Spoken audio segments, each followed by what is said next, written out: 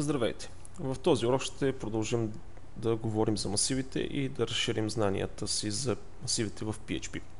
В предишния урок се запознахме как да създадем масив, какво всъщност представлява масива, как да вземем дадена информация от него, как да променим дадена информация от него. Принципно в PHP има няколко варианта, т.е. няколко синтакса за работа с масивите.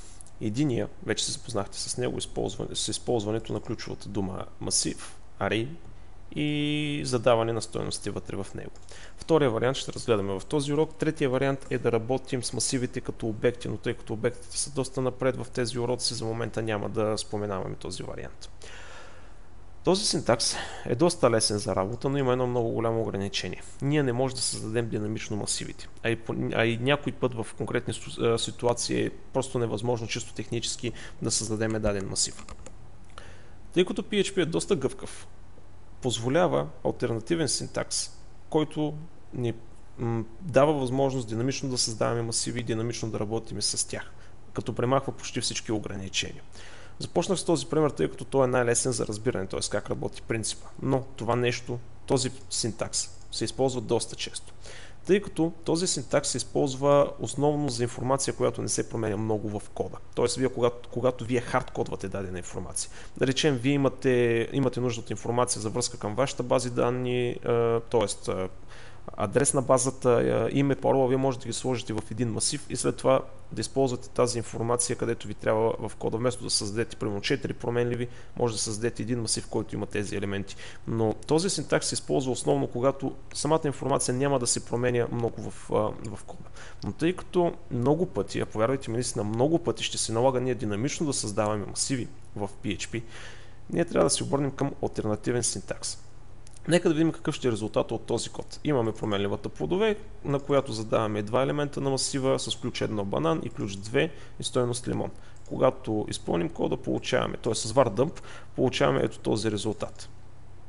Нека да видим как може да създадем масив по альтернативен начин. За целта ще създам а, още една променлива, която ще се казва плодове 2.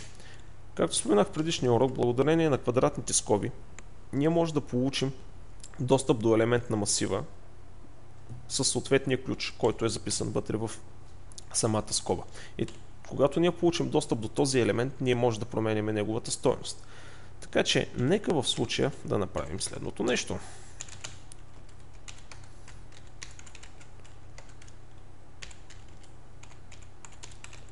Нека да видим какъв ще бъде резултата Нека да сложа един line break, т.е. един нов ред, за да се вижда по-ясно.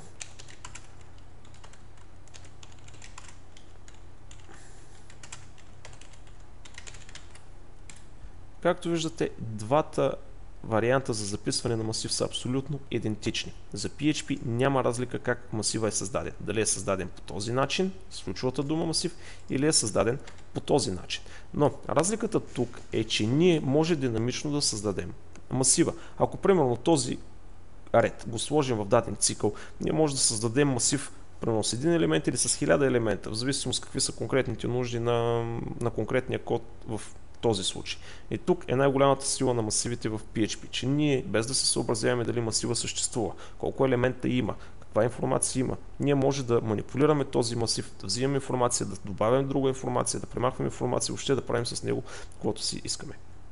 Ще изтрия този ред, тъй като той беше необходим само за да ви покажа, че няма разлика как PHP разпознава масивите.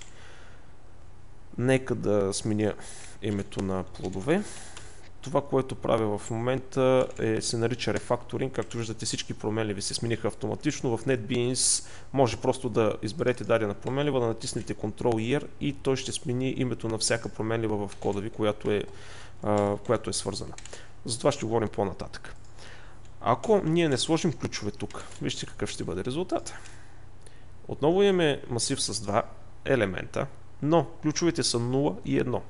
Ако се спомните от предишния урок ви казах, че не може да има стоеност в масив без ключ. И когато ние не зададеме ключ, PHP ще направи всичко възможно да присъедини някакъв ключ към тази стоеност. И тъй като логиката е изключително проста за присъединяване на ключове, взима се първото възможно число, то PHP създава 0,1. Ако първият ни масив е, т.е. ако първият ни елемент е 1, следващия елемент ще стане 2 и така нататък. Като PHP се опитва да не презапише информация, което като цяло е, е голям проблем. Нека да видим какво ще стане, ако имаме два еднакви ключа. Тук имаме ключ 1, стойност банан, ключ 1, стойност лимон. Нека да напишем е, ехо плодове, ключ 1. Получаваме лимон. Но ако сложим банан на второ място, получаваме банан. Ако спомняте от първите уроци ви споменах, че PHP изпълнява кода отгоре надолу. Тоест, той стига до този ред, присъединява лимон към масива с ключ 1. Но по-надолу в кода ние отново с ключ 1 присвояваме стоеност банан. Тоест старата стоеност бива изтрита. Представете си го като променливата. Когато ние зададем стоеност на дадена променлива и някъде по-нататък в кода ние променим нейната стоеност, старата изчезва и новата стоеност остава. Тъй като използваме едно и също име. Ситуацията тук е много подобна. Винаги един една информация в масива трябва да има ключ и ключовете трябва да бъдат уникални. Не може да има два еднакви ключа в един и същи масив на едно и също ниво, но за това ще говорим по-нататък, когато говорим за многомерните масиви. Така че трябва наистина да внимавате, когато задавате ръчно ключове на масива, да не се получи така, че да презапишете дадена информация, което ще доведе до грешки в кода ви като цяло. Разбира се, ние може да задаваме и текстове, като ключове на масива и да използваме, т.е. стрингове, и да използваме тези стрингове, за да извлечем съответната информация. Както виждате, работи без никакъв проблем. Технически PHP позволява имената на ключовете да бъдат всичко, т.е. дори и текст на кирлица с специални символи и така нататък, почти без никакво ограничение, но искам да ви кажа, че това, въпреки че технически е напълно правилно и PHP ще работи, не е добра практика да създавате ключовете на масивите на кирлица или на нещо различно от а, латински букви и цифри. Тъй като в някои много специфични случаи може да се получи проблем когато ключа е на кирлица. И този проблем произлиза от начина по който PHP работи с стринговете, т.е. така нареченото наречения енкодинг на стринговете. Тъй като единия ви може да бъде в UTF-8, т.е. мултибайт, другия може да бъде в някакъв друг формат и да си получи разминаване и да не може да бъде намерен съответния ключ. Така че това ще доведе до големи проблеми. Като цяло PHP има проблеми с енкодингите, за щастие във версия 6 всичко това е решено. Но все пак, наистина, като добра практика, създайте си да използвате думи, т.е. текстове, цифри, букви, но само на латиница, за да спестите изключително много грешки, тъй като тези грешки са много, много, много трудни за намиране. Нека да ви покажа как може да създадем динамично масив благодарение на цикъла. Този код е изключително лесен и почти няма практическо приложение, но ще иллюстрира много, много ясно как ние динамично създаваме масиви. Нека да използваме цикъла for, който вече се запознахме.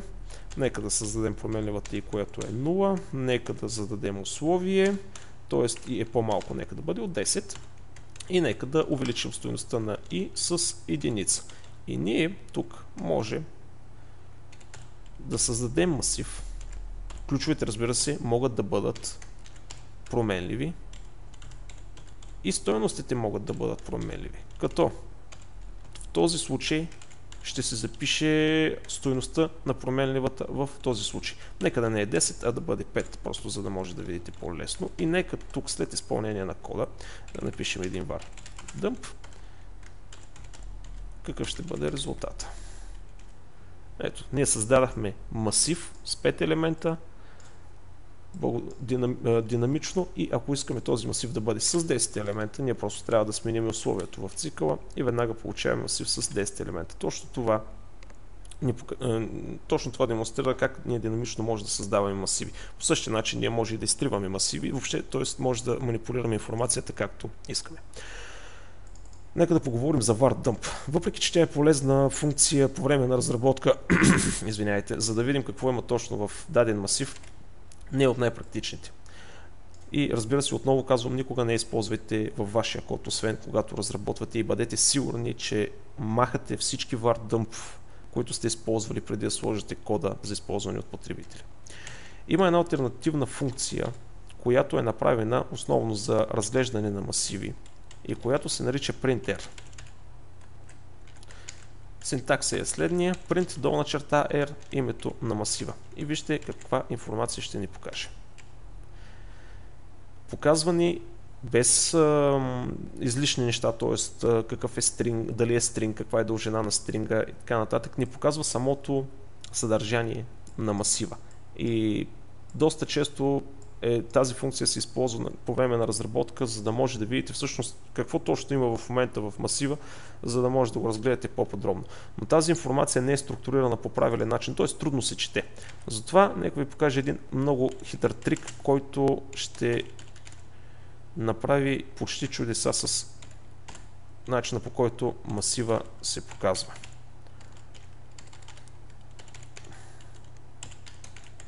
Е HTML Най-обикновен HTML tag. Но когато напиша кода по този начин, вижте как масива ми бива показан. И така, много лесно аз мога да видя, че на ключ 1 имам стоеност 0. Тоест на ключ 0 имам стоеност 0, извиняйте. На ключ 1 имам стоеност 1 и така нататък. Ако масива сме го създали, т.е. нека да създам друг масив, който има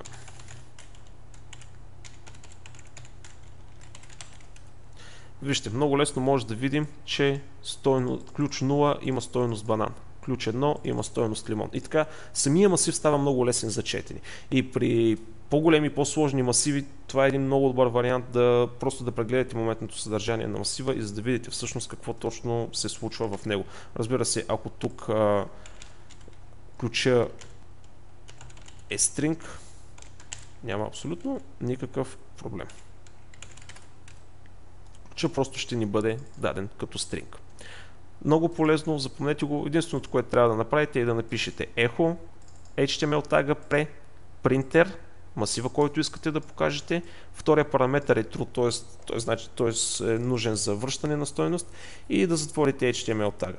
И всъщност това, което ще получим е нека да видим изходния код на страницата, ето това нещо. Като претага ни позволява, т.е. позволява новите редове да бъдат рендирани като нови редове и точно за това масива бива форматиран по този много лесен за четене начин. Мисля, че това е достатъчно за този урок. Освен... Да, нека да ви спомена и за това, че ние разбира се може и да променяме информацията по следния начин. Тоест, аз вече ви показах, но все пак да съм сигурен, че сте разбрали, ако искаме да променим информацията на даден масив, ние просто си обръщаме със съответния ключ към него и присъединяваме нова стоеност. Преди малко ви показах това като а, грешка в кода, т.е. когато ние презаписваме стоености на, в даден масив, но понякога ние наистина трябва да презапишеме тези стоености. Т.е. това не е грешка, наистина се налага да го направим. Така че варианта е просто пишем масива, съответния ключ, било то число, било то текст и новата стоеност. И по този начин ние променяме информацията в, в масива. И разбира се, ако искаме да премахнем даден елемент от масива, това става с функцията unset и задаваме масива със съответния ключ, тъй като ако не зададем ключ, ще се премахне целият масив, без значение колко е голям той. Мисля, че наистина това е достатъчно за този урок. Изключително лесен синтакс, все пак да направим едно бързо ам, обяснение на ново на нещата. Альтернативният синтакс е създавате дадена променлива. С помощта на квадратните скоби вие задавате даден ключ, задавате дадена стоеност и тази променлива автоматично се превръща в масив. Когато искате да промените информацията, се обръщате с съответния ключ и присвоявате нова стоеност към информацията. Когато искате да използвате тази информация, просто пишете ехо или а, примерно ако искате да я присъедините към друга променлива, вие задавате дадена променлива, пишете, че тази променлива е равно на този масив с този ключ и автоматично променливата вече ще съдържа стоеността на този ключ в масива и след това може да използвате само тази променлива навсякъде в кода. Мисля, че е доста лесно, доста логично, доста просто за работа. Разбира се, ще видите практичното приложение по-нататък, когато започнем да правим малки проекти, ще видите наистина колко удобно, колко лесно е това нещо и наистина за разлика от някои други езици, които нямат подобни възможности, нещата стават доста по-лесно. Благодаря ви, очакваме в следващия урок, където ще говорим за многомерни масиви.